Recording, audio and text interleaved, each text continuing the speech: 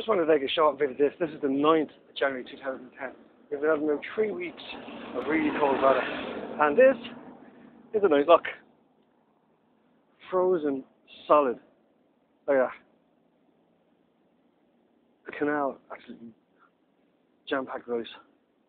Like I said, bit of water. You're still let the waterfall, apparently.